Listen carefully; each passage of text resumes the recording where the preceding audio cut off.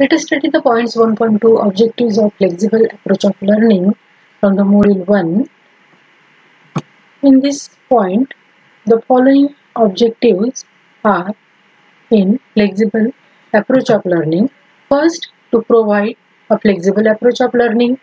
Second, to create flexible environment to the learners in classroom. Third, to use multiple methods of learning. Four, to provide differentiated instructions.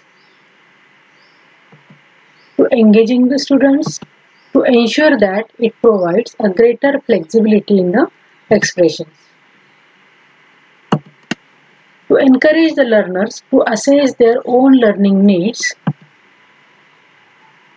To monitor their own progress to regulate and sustain their interest, ensure that all students have an equal opportunity to learn, to provide an approach which offers flexibility in the way students access material, engage with it, and to show what they know.